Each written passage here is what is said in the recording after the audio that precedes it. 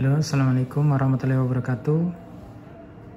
Ah, di kesempatan kali ini saya ingin sharing bagaimana cara melakukan kalibrasi atau penyetelan arus pada driver stepper yang ada di modul CNC controller berbasis Arduino agar arus yang keluar dari driver ini ke arah stepper itu sesuai dengan uh, spesifikasi dari si steppernya ya. Karena bisa jadi walaupun tipenya sama, misalnya NEMA 17 itu punya spek yang beda-beda, terutama di rating arusnya. Ini contoh.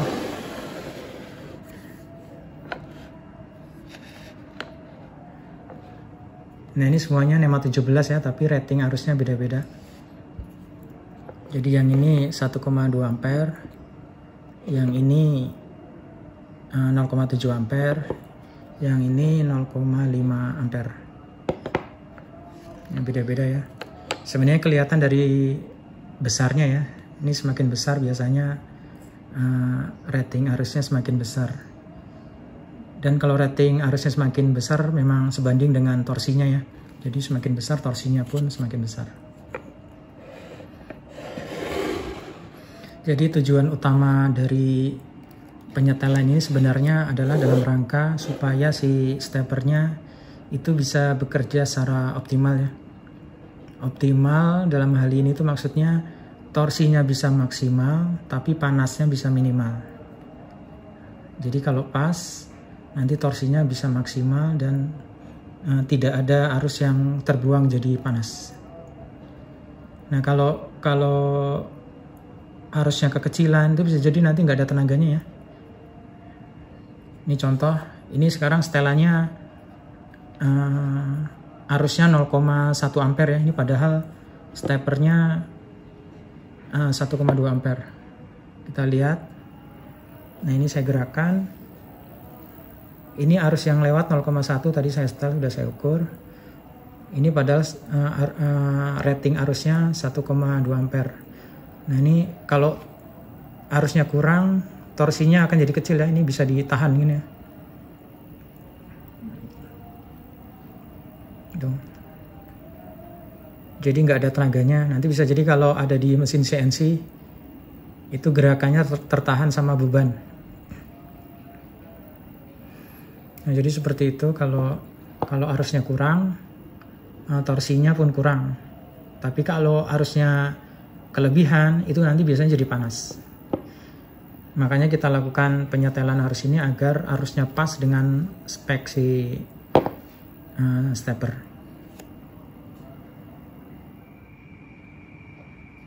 Untuk melakukan penyetelan arus ini sebenarnya caranya cukup mudah ya. Kita tinggal menyetel potensiometer yang ada di uh, driver.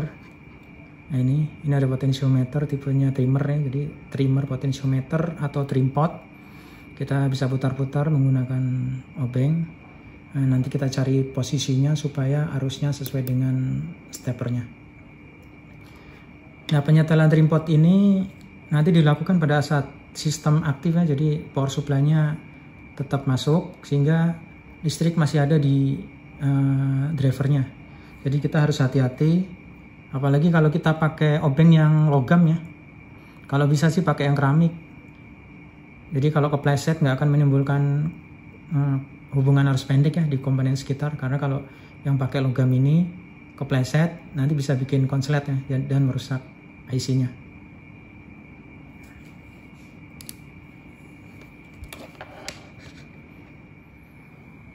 Tapi mungkin sebelum masuk ke detail proses penyetelan arus di driver stepper ini, saya ingin ajak teman-teman untuk kenalan sama komponen elektronik yang namanya trimmer potensiometer ini ya atau disingkat trimpot karena dari pengalaman saya ada kejadian di mana teman yang uh, mencoba untuk menyetel trimmer potensiometer ini malah karena sebelumnya nggak kenal trimpot itu apa itu malah trimpotnya jadi rusak ya.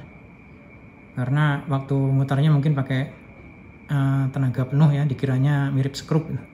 Jadi malah uh, besinya patah. Nah ini mudah-mudahan bisa menggambarkan apa itu trimpot ya. Simbol elektroniknya seperti ini. Bisa ini bisa ini ya. Sama ini sampel trimpot ini versi besarnya. Kalau yang di driver itu sangat kecil lah. Ini mudah-mudahan yang versi besarnya bisa menggambarkan cara kerjanya sama persis. Jadi nanti waktu kita melakukan penyetelan itu tidak mengakibatkan si trimpotnya rusak. Nah ini di dalam komponen ini bentuknya kira-kira seperti ini ya. Ini ada tiga kaki.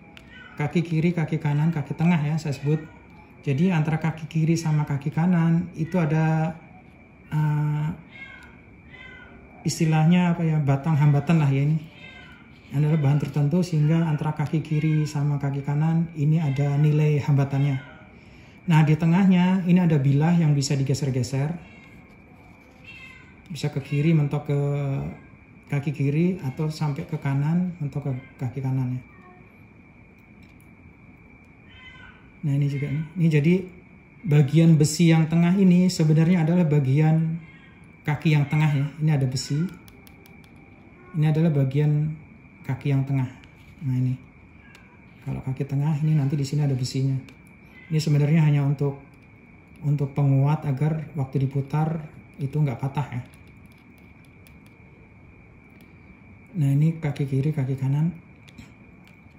Jadi nanti tugas kita itu mutar-mutar ini dengan minimal putaran ke titik ini dan maksimal putaran ke titik ini ya. Jadi nanti uh, kalau dia uh, kelebihan itu bisa undefined ya statusnya undefined istilahnya nanti tegangan VREF-nya keluar itu nggak bisa didefinisikan karena posisinya menggantung ke tengah. Jadi seperti itu biasanya sih yang sebelah kiri itu disambungkan ke ground ya. Yang sebelah kanan adalah tegangan tertentu ya. Jadi kalau uh, ini ditempelkan kita putar ke kiri sampai mentok akan menghasilkan uh, tegangan referensi nol. Kemudian kita putar ke kanan uh, bila mentok ke kanan akan menghasilkan tegangan referensi sama dengan tegangan yang ada di kaki sebelah kanan.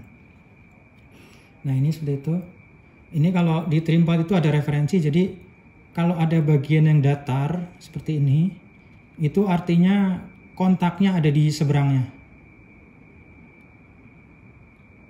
Nah, coba kita zoom ya.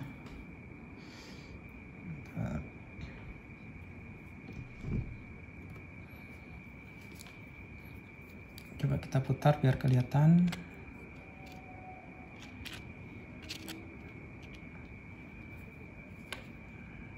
Nah ini ya, kalau ini bagian datar, ini kontak titik ini ada di seberangnya, berarti di sini. Ini kelihatan kan ada cekungan. Nah seperti itu, berarti posisi kaki tengah ini sedang ada di sini. Kalau ini sedang ada di sini ya. Jadi uh, si trimpot ini posisi minimumnya ada di sini ya. Ini kan ada cekungan nih posisi minimumnya ada di sini. Posisi maksimumnya ada di sini. Nah ini. Jadi nanti bisa dikira-kira ya kalau kita sudah tahu putarannya seperti ini ini kan nggak nggak satu lingkaran penuh ya. Jadi nanti bisa dikira-kira tegangan referensi yang akan muncul ya. Nah ini bagaimana kalau diputarnya uh, kebablasan ya misalnya ke sini ya Nah, ini jangan sampai seperti ini ya. Ini kalau seperti ini posisinya menggantung, itu bisa jadi tegangan yang akan muncul di VREP-nya itu undefined ya, atau enggak enggak menentu ya, enggak bisa didefinisikan. Jadi usahakan nah, hanya maksimum sampai di sini ya. Nah, ada beberapa tipe trim pot itu kalau mentok ke kanan, dia ada yang menahan. Jadi terasa nanti ada sesuatu yang menahan. Kalau ini kan tipe yang bisa mutar terus ya. Ini bisa diputar-putar tapi nggak ada ujungnya. Nah kalau ada beberapa trimpot untuk ke keperluan keamanan itu uh, waktu diputar mentok ke kanan itu ada penahannya. Nanti kita lihat yang ada di driver seperti apa ya. Nah jadi seperti itu patokannya sama yang nanti yang di driver itu ada garis seperti ini jadi ujungnya ada di mana yang maksudnya ujung ini ini kontaknya ada di mana itu pasti di seberangnya. Kalau ini datar artinya kontaknya ada di ujungnya. Nah ini seperti itu. Selanjutnya kita lihat yang ada di drivernya ya. Nah ini mungkin saya cabut dulu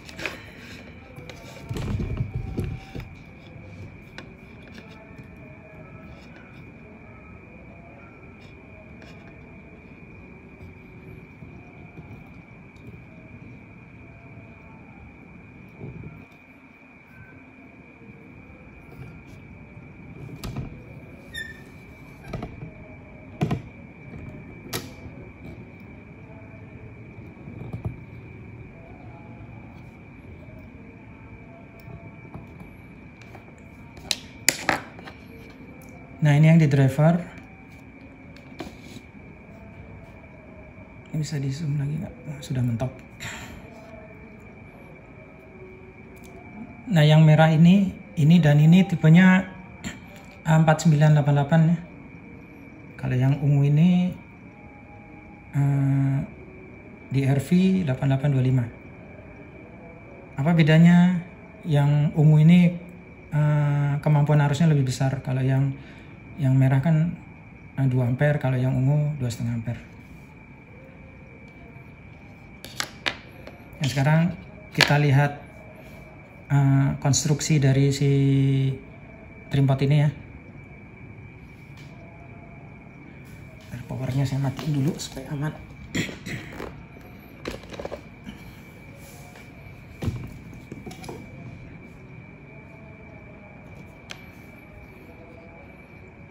Nah oke, okay. kita sampel yang yang ini dulu mungkin ya. Kecil banget.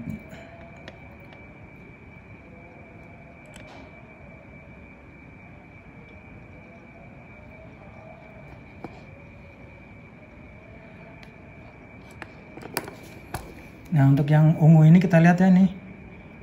Dua kaki yang tadi saya sebut kanan kiri ada di sini ya ini dan ini.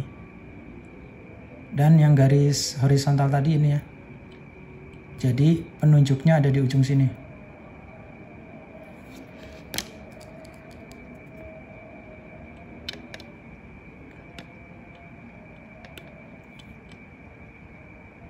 Oh ini mentok. Kita putar ke kiri.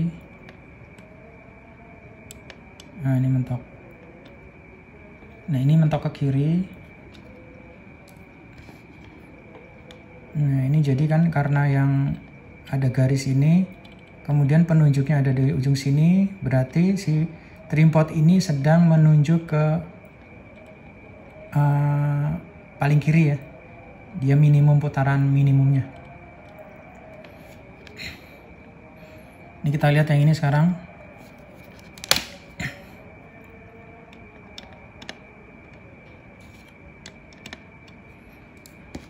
Nah ini terlihat yang tadi kaki kanan kiri ini ya. Ini dan ini.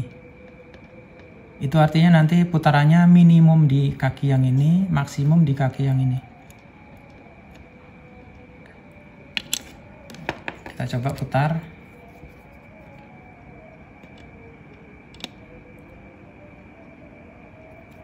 Nah ini terlihat nih ada bagian yang lurus ini artinya penunjuknya ada di seberangnya, ada di seberang sana penunjuknya. Karena yang di sini berarti ini sedang menunjuk ke sana. Kalau kita putar ke kanan, nah ini mentok. Ini kan yang lurusnya ada di sini, berarti menunjuknya ke sini, ke kaki ini maksimum ini.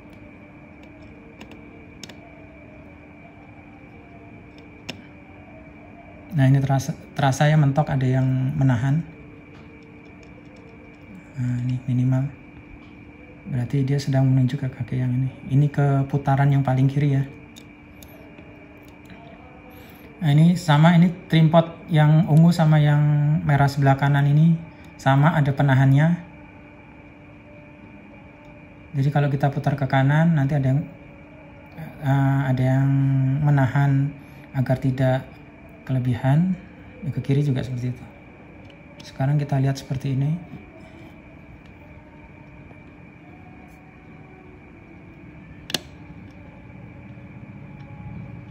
Nah yang ini nggak ada penahannya ya, jadi mungkin ini harus ekstra hati-hati. Kita lihat kaki yang tadi kanan kiri mana? Oh ini, ini terlihat nih. Ini kaki yang kiri, ini kaki yang kanan. Ini ya, ada logamnya. Dan ini yang bagian lurusnya ya. Artinya ini sedang menuju ke sana. Ini yang kontaknya ada di sini.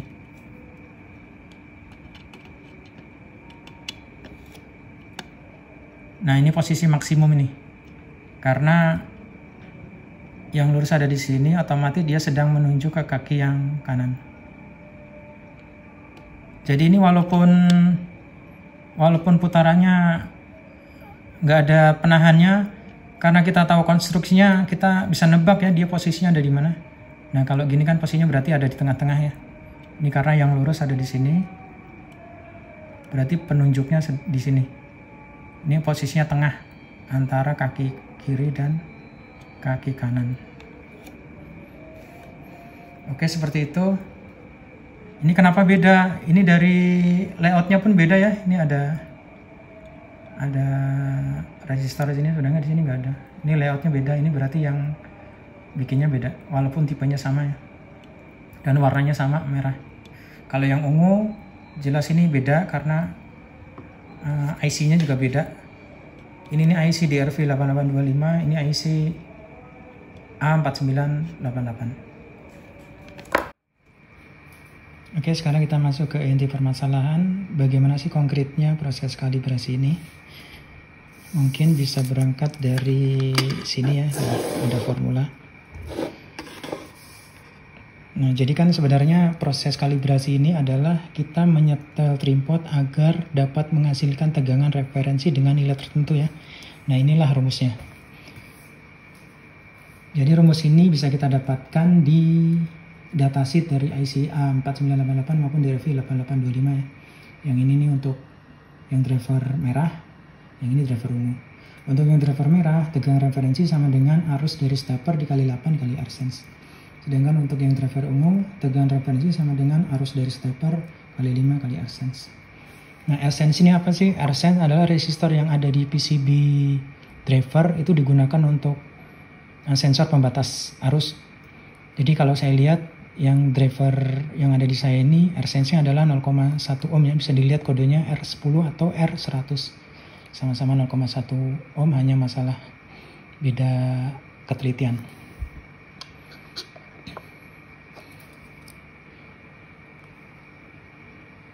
Nah, untuk uh, bisa menghitung tegangan referensi kita perlu informasi dari uh, rating arus si stepper ya. Ini wajib. Jadi kalau kita beli stepper kita harus tahu uh, rating arus dari stepper tersebut ya. Kalau misalnya informasi itu nggak ada, ya tidak bisa diaplikasikan ke proses kalibrasi ini ya. Jadi mutlak bahwa untuk menentukan kalibrasi kita harus tahu rating dari uh, rating arus dari steppernya. Biasanya sih kalau misalnya nggak ada informasi waktu kita beli, kita bisa cari di datasheetnya. Kalau ada tipenya, bisa kita cari di datasheetnya. Itu rating arusnya berapa. Oke, sekarang tegangan referensi ini bisa kita ukur di mana sih gitu.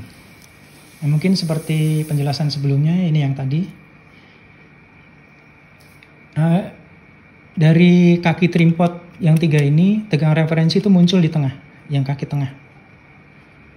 Jadi kita nanti ukurnya di kaki tengah. Nah karena besi yang di atas ini yang tempat kita muter pakai obeng itu adalah bagian dari kaki tengah, maka bisa kita ukur di uh, besi yang tampak di atas ini. Ini adalah bagian dari kaki tengah, sehingga nanti kita bisa diukur di bagian situ. Oke, langsung kita contohkan ya.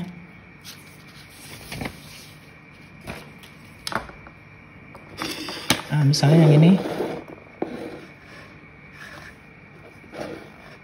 Nah, ini kan rating arus dari stepper yang saya pakai ini 1,2 ampere. Berarti karena dia pakai uh, driver merah, yaitu A4988 artinya uh, tegangan referensi adalah 1,2 dikalikan 0,8 ya, sesuai dengan rumus tadi. Bentar saya hitung 1,2 dikali 0,8 itu hasilnya 0,96 ya. Nah untuk mengukur kita wajib pakai wajib punya multimeter ya.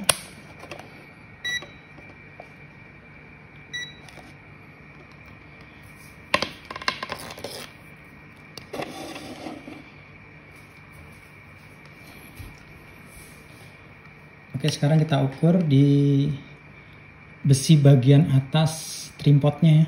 Ini kan bagian dari kaki tengah ya. Sehingga tegangan referensinya muncul di situ. Oke yang hitam kita ke negatif. Yang merah kita ke besi yang ada di trimpot. Nah ini 0,2 jadi kurang besar ya. Tadi targetnya adalah 0,96 ya. Untuk menaikkan kita putar ke kanan ya. Nah ini kan sebenarnya uh, rangkaiannya masih aktif ya ada arusnya jadi kita perlu hati-hati jangan sampai kepleset. Ini kecil banget sebenarnya nggak kelihatan. Kita hati-hati aja. Kita putar ke kanan. Kita ukur lagi Sebenarnya kalau ada capit buaya, multimeternya bisa dicapitkan ke obengnya sambil diputar sambil diukur. Tapi karena saya nggak ada ya, termasuk bolak-balik begini. 0,6 masih kurang. Kita putar ke kanan lagi.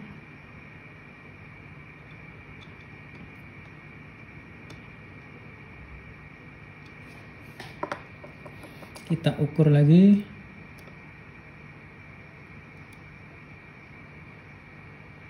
0,85 lah ya. Nah sebenarnya gini ya biasanya itu ada margin safety-nya ya. Jadi dari misalnya tadi 0,96 itu enggak nggak sepenuhnya sampai 0,96 jadi dikurangi 10% jadi 0,8 sekian lah. Jadi sebenarnya untuk rating 1,2 ampere ini nanti dikurangi 10% jadi tegangan referensinya itu 0,8 sekian ya.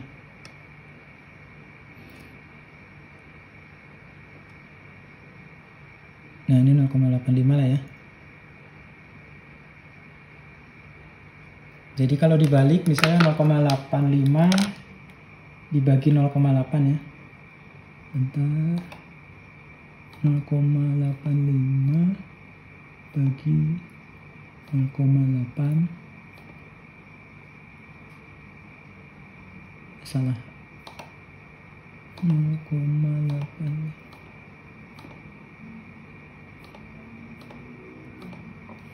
1 ampere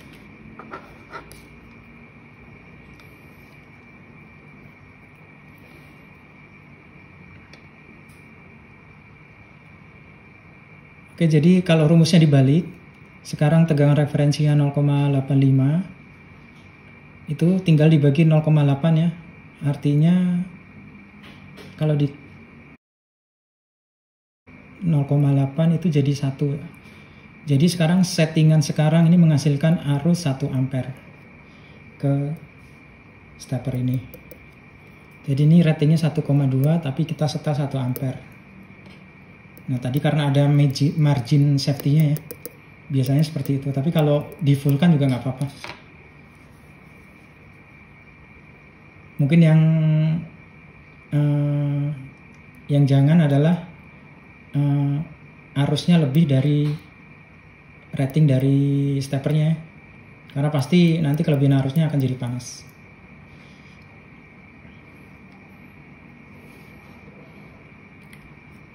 Oke mungkin intinya seperti itu ya. Jadi sangat mudah. Oke sekarang mungkin saya ingin menambahkan beberapa tip and trick ya. Beberapa kendala umum yang sering ditemui pada saat melakukan kalibrasi. Mungkin yang pertama adalah eh, bagaimana jika kita tidak tahu uh, rating arus dari stepper yang kita beli. Nah itu mungkin uh, solusi pertama adalah nebak ya. Karena begini, ini contoh saya contohkan.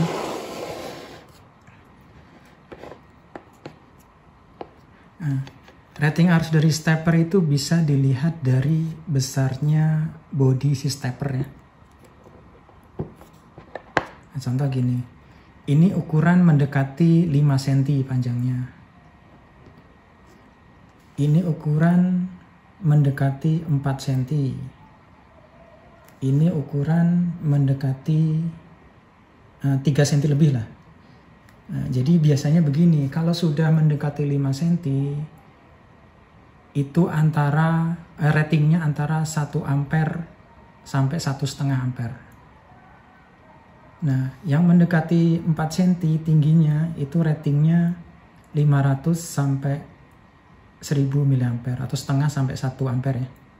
Nah, yang kecil ini biasanya ya maksimal itu setengah ampere. Jadi kalau kita nggak tahu, kita tebak aja berdasarkan ukuran uh, dari steppernya ya. Atau bisa kita bandingkan ke model stepper lain yang diketahui ya. Jadi misalnya ada stepper lain yang step yang yang ukuran bodinya sama, kemudian dia jelas uh, ratingnya. Nah mungkin bisa kita sejajarkan. Kalau ukurannya sama, biasanya ratingnya nggak jauh. Ya, itu seperti itu nebaknya. Atau yang solusi kedua, kalau kita nggak tahu rating dari rating arus dari stepper, uh, yang paling aman uh, si trimpot ini kita posisikan di posisi tengah ya. Kalau yang kecil nggak kelihatan, mungkin yang besar, bentar. Nah, mungkin yang ini, ini sampel aja. Sama case-nya sama yang kecil ini. Yang dimaksud posisi tengah adalah ini, posisi di mana kontaknya ada di tengah. Nah, ini kan kalau posisi ini, posisi paling kiri, ini kontaknya ada di kiri. Posisi gini, kontaknya ada di kanan. Jadi kalau posisi tengah adalah posisi di mana yang bagian rata ini menghadap ke kaki kanan kiri ini. Itu adalah posisi tengah. Sama dengan ini ya, yang kecil ini kan ada bagian lurusnya itu. Nah, bagian lurusnya itu kita posisikan ke tengah ya. Contoh kita zoom dulu. Nah, pada contoh ini kan ini posisi ratanya ada di agak ke kanan ya, eh, agak ke kiri. Jadi posisi tengah ini karena kaki kanan kirinya ada di sini. Satu, dua. Posisi tengah artinya dia di tengah sini. Jadi yang rata ada di bawah.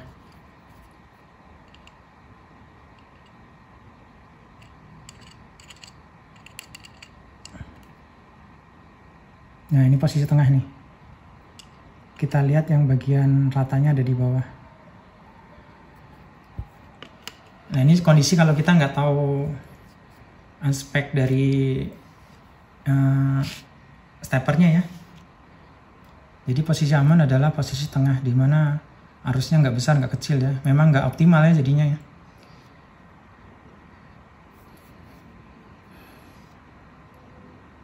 itu yang kedua ya yang ketiga mungkin gini ya kita coba-coba jadi uh, misalnya putarnya agak ke kanan itu harusnya agak besar. Jadi nanti kalau misalnya steppernya panas baru kita kecilin.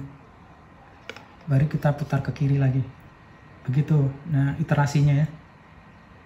Jadi kita coba-coba uh, putar ke posisi tertentu tengah agak ke kanan. Dan mungkin nanti kalau steppernya panas baru dikecilin. Nah itu kalau kita nggak tahu ratingnya si stepper ya jadi kita hanya bisa nebak-nebak nah itu solusinya mungkin Kemudian ada kendala umum yang lain, misalnya kita nggak punya multimeter untuk melakukan kalibrasi. Padahal multimeter kan wajib buat ngukur tegangan referensi. Nah sama mungkin solusinya, jadi kita hanya bisa nebak. Jadi uh, si trimpotnya kita posisikan di tengah ya. Jadi kita hanya bisa nebak seperti tadi. Jadi kalau amannya kita taruh tengah. Terus kalau berani mungkin agak dikekanankan ya nanti kalau steppernya panas baru dikecilin lagi sebenarnya kan stepper kalau kita baru beli itu posisinya di tengah jadi untuk mengantisipasi yang males untuk kalibrasi ya atau mungkin nggak sempat kalibrasi itu posisinya aman di tengah walaupun nggak optimal dia aman. Kemudian masalah lain mungkin sepele ya tapi ini vital. Jadi bagaimana kalau kita nggak punya uh, tools untuk mutar potensiometernya ini mungkin masalah ini pernah saya alami ya. Jadi ini karena kecil susah cari obeng yang pas. Uh, trimmer pun nggak ada yang pas ya. Saya udah cari beberapa trimmer yang pakai keramik itu terlalu kecil ukurannya mungkin uh, kalaupun kecil itu tebal jadi nggak masuk. Ya bagaimana kalau kita nggak punya tools ini? Nah, sebenarnya bisa diputar pakai kuku ya seperti ini. Saya contohkan. Nah ini di bagian bawah ini ada sudut yang rada tajam ya. Ini bisa kita kaitkan ke kuku ya contoh nih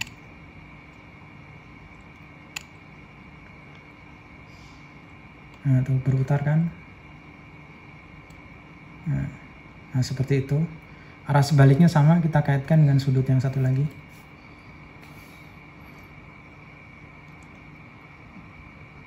Ya, mungkin seperti itu. Mungkin kalau ada teman-teman yang punya masalah lain nanti bisa komentar ya. Saya bisa nanya di kolom komentar. Mungkin seperti itu aja dulu ya. Mungkin semoga bisa bermanfaat. Assalamualaikum warahmatullahi wabarakatuh.